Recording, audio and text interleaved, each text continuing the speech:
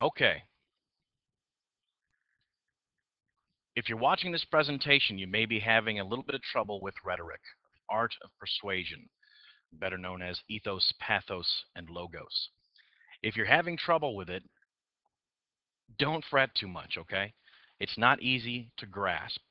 Let me put it to you this way, though. Who wouldn't want to be able to argue better than they do now? When you go to your homeroom teacher and you say, I want to leave two hours early, wouldn't you be able, wouldn't you like to be able to argue that point a little bit better than just to say, oh, I don't feel so good?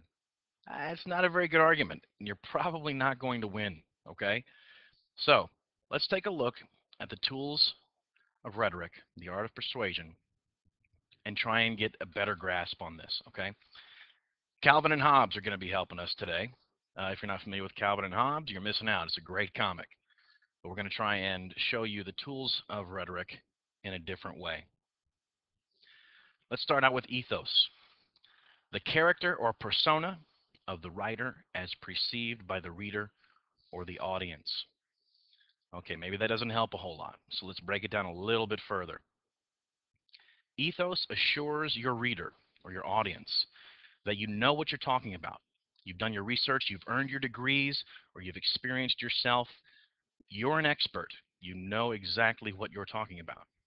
Now let's take a look and see what Calvin has to say about this. And remember, these are tools of persuasion. You're trying to persuade someone to think or feel the way you do, or to act, okay, or to get them to do something.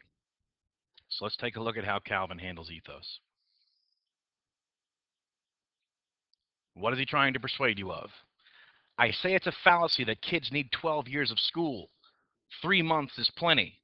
Now, obviously, he's three months into the first grade. And how does he support this argument?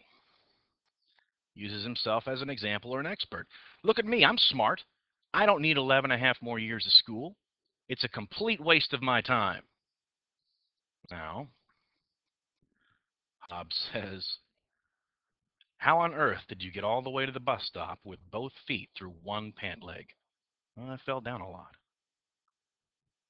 Why? What's your point? Nothing. I was just curious. Now, Calvin is using ethos because he's using himself as an example. I'm an expert. I'm three months into this school thing, and I can tell you as an expert that we don't need any more schooling. 11 and a half more years is a complete waste of time. Is it a very good argument? Not really. Hobbes is like, yeah, you're so brilliant, you couldn't even put your pants on right. Okay, so let's take a look at ethos in a real life situation. This is spoken uh, or was spoken by Sojourner Truth in 1851 at the Women's Convention in Akron. Women's Convention in Akron was basically trying to give a, a platform for uh, women's rights. And Sojourner Truth was an African American. Uh, she was a freed slave at that point in time. And she's trying to say that not only do women need rights, but African American women need rights even more right now. And she says that man over there says that women need to be helped into carriages and lifted over ditches and to have the best place everywhere, but nobody helps me into carriages or over mud puddles or gives me any best place. And ain't I a woman? Look at me. Look at my arm. I've plowed and planted and gathered into barns, and no man could head me. And ain't I a woman? I could work as much and eat as much as any man when I could get it, and bear the lash as well. And ain't I a woman? Now, what she's saying here is African American women need rights even more right now than other women. And she uses herself as the perfect example of why. I would listen to her. Wouldn't you? That is ethos, a great tool of persuasion by using yourself as an expert. Okay? Next, let's go into logos. Logos refers to the logical content of communication, including the information being presented and the organizational structure of that information. And again, that definition might not help a ton, so let's break that down a little bit. Logos is the logical content of your argument. This might include the information you present, the connections you make between elements of your argument, and the logical conclusions you draw based on the information you present. The logical conclusions are the key here. with your support of whatever it is you're trying to persuade people to do, if your support doesn't end in a logical conclusion, if it doesn't make sense, then it's not logos. Okay? It's not logical. And once again, let's see how Calvin handles logos. You know, school wouldn't be so bad if you didn't have to go every day. Now, I know that most of you are agreeing right now, but let's take a look at his logical support for that. And if you didn't have to learn anything, and if you took away all the teachers and all the other kids, if it was completely different, school would be great. Is this logical? In a way, it is, because if you didn't have to learn anything at school, if you didn't have teachers, if you didn't have homework, if you didn't have other people to deal with, school would be great. But then again, it kind of wouldn't be school anymore. A lot of things are like that, Hobbes says. Nobody asks me how things ought to be. I've got a ton of ideas. Now, again, Calvin uses logos in this argument, but doesn't use it very well because his conclusion is not logical. Okay? Now, logos in real life situations. You need to save money on your groceries. Go shopping alone. Have a budget and stick to it. Make fewer, larger trips. Don't shop hungry. Plan your meals in advance. Scan your cupboards, pantry, and fridge before leaving. Keep a running list of items you need on your fridge. Break your list down by store and plan your outing accordingly. With these shopping tips, you'll save up to 40% of your grocery bill.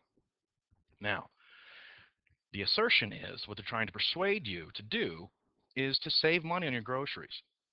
If you take a look at this, if you do all these things, the logical outcome is going to be you know, possibly saving up to 40% of your grocery bill. And it makes sense if you shop alone, if you have a budget and stick to it, fewer trips, don't shop hungry. All these things end in the logical conclusion of saving money on your grocery bill. Okay? And that's logos.